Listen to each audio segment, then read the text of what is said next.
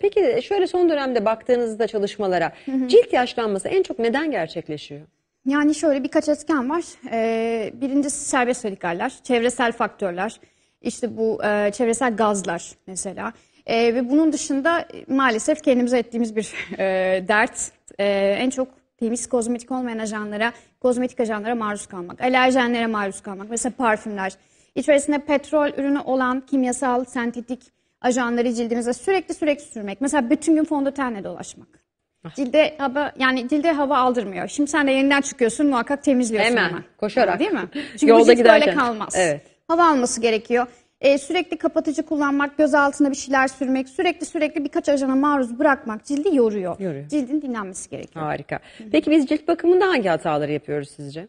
Ee, şöyle en çok yapılan hatalar aslında bir defa çok sert peeling ajanlarıyla sürekli sürekli özellikle roza hastalarının kızarıklığı olan hastaların sürekli e, peeling yapma telaşı, çizen e, yıldız moleküllerle sürekli içmesi kahve maskelerini ben normalde önermiyorum. Herkes için uygun değil. Her cilt tipi için her maske önemli ama yani her maske geçerli mi? Hepsi kullanılabilir mi? Hayır. Temiz kozmetik kullanmamak e, ve daha çok yağ bazlı ama yağ bazı sentetik olan ajanlarla temizliyormuş gibi davranan ama nemlendiriyormuş gibi davranırken maalesef sonra Yağ bazı aknelendirebilen. sentetik olan ajanlar. Evet şöyle diyelim. Mesela şimdi doğal yağlar da var. Doğal esansiyel yağlar. Evet. Bir de bunların e, laboratuvar ortamında üretilmiş izomerleri var. Ama bunlar sentetik olarak ve cilde biyo uyumluluğu yok. Tamam. E, cilt bununla karşılaştığı zaman belki bazen bir parlaklık veriliyor ama arkasından cilt patlayabiliyor, aknelenebiliyor, rozanız varsa kızarabiliyorsunuz. O yüzden hangi yağ bazlı ürünü kullanıyorsanız doğala yakın ve sizin cildinize uyumlu olan her doğal üründe size okey olacak, olacak, diye bir şey yok. Çok doğru. Evet. Peki siz bir e, ürün geliştiricisiniz, içerik geliştiricisiniz e, ve bu ürünleri diyorsunuz ki her geçen gün akıllı hale getirebilmek elimizde. Evet. Bu mümkün. E, neden buna ihtiyaç duyuyoruz? Çünkü gelişen teknolojiyle artık ihtiyaçlarımız da artıyor. E, kadınlar güzel olmak istiyor. Güzel olmak için daha çok ürün kullanıyor, daha çok makyaj malzemesi kullanıyor. Bunu çıkartmak için daha çok kozmetik, dermakozmetik ajan kullanıyoruz. Evimizde aynamızın önünde bir sürü e, var ve neler var işte losyonlar, kremler, her- parfümler her çeşit var. Ama bazıları kimyasal kirlilik yaratabiliyor. Temiz kozmetiğin bilincine varılması gerekiyor. Şöyle düşünüyoruz. Çok fazla ürününüzün olması değil.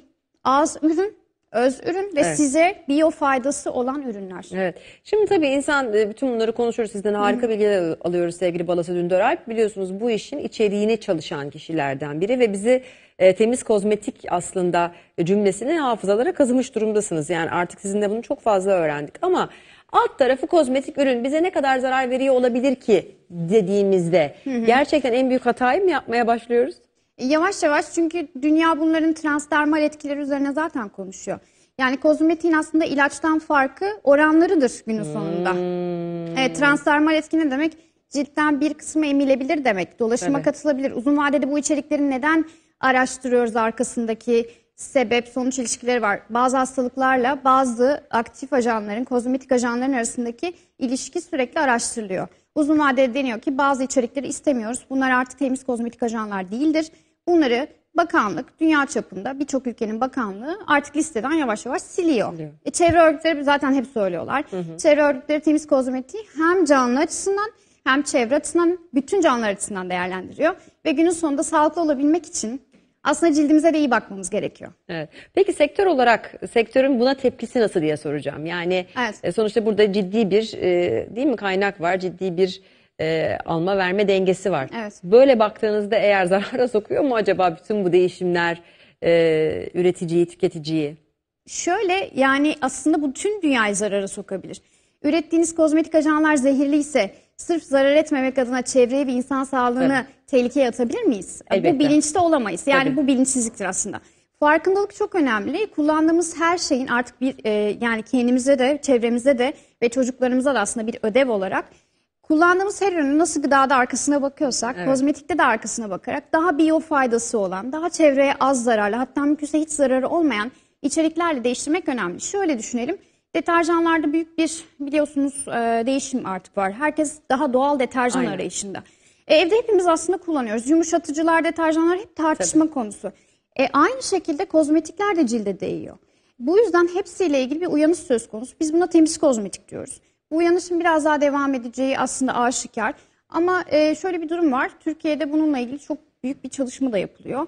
Bence bütün sektör üreticileri ya bu konuda biraz daha değişmeye ve gelişmeye başladılar. Bu anlamda gurur verici. Evet çok çok güzel. Sizin de desteğiniz oldukça fazla.